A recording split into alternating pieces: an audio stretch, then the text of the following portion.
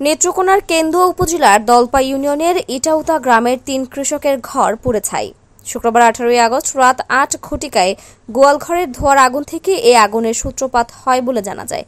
কৃষক মোহাম্মদ সামাদ মিয়া, মোহাম্মদ আহাদ মিয়া এবং কৃষক ও ওয়ার্ড আওয়ামী লীগের সভাপতি মোহাম্মদ আবুল আয়েশের ঘর পুড়ে গেছে বলে নিশ্চিত করেন প্রতিবেশী মোহাম্মদ আবুল বাসার তালুকদার। এতে করে প্রায় দুই থেকে তিন লাখ টাকার ক্ষয়ক্ষতি হয়।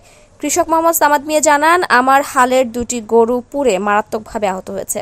আমি পথে বসে গেছি।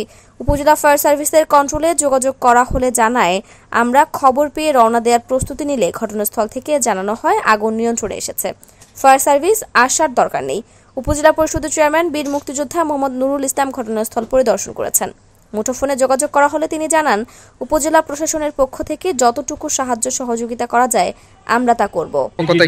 করে ক্ষতিগ্রস্ত হইল ওই জন্য আমরা দুঃখিত ব্যতীত। এবং আমাদের পার্টির যে চেয়ারম্যান জি এম কাদের সাহ তুষার ছোটো ভাই এবং আমাদের পার্টির মহাসচিব বীর মুক্তিযুদ্ধ মুজিবুর রহমান সহ সরকারের সমস্ত জায়গায় আমরা অবহিত করব।